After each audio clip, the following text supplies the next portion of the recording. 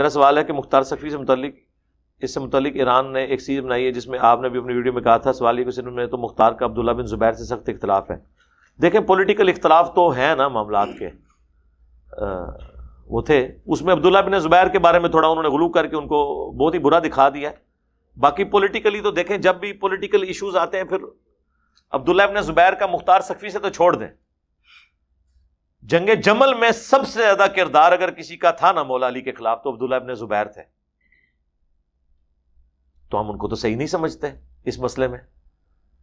बजाय हज़रत अली के हाथ मज़बूत करने के, इन लोगों ने, यानी हदीस हौब जो है, सिलसिला हदीस सैया में, उसमें शेख अलबानी ने सारे वो तुर्क नकल की हैं, कि जब अम्मा आयशा होब के कुत्ते भोंके और फिर बाद में उनकी जान बख्शी हज़रत अली ने की, फिर मोहम्मद बिन नबी बकर के साथ उनको वापस मदीना शरीफ भेजा, मक्का शरीफ।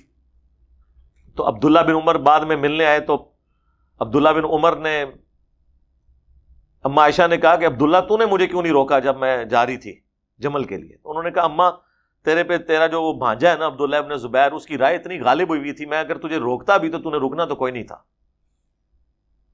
वो ऐसा मतलब सवार हुए हुए थे अब्दुल्ला इब्न जुबैर, अम्मा आयशा के असाब के ऊपर, ज़ाहिर भांजे भी थे।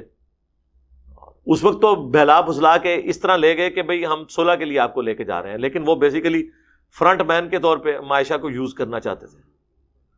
हालाँकि मोहम्मद बिन अबी बकर जो उनके भाई थे, वो उनको समझाते भी रहे मायशा को। मोजरत अली के साथ थे। तो लिहाजा इंसान है इंसान से गलती हो सकती है।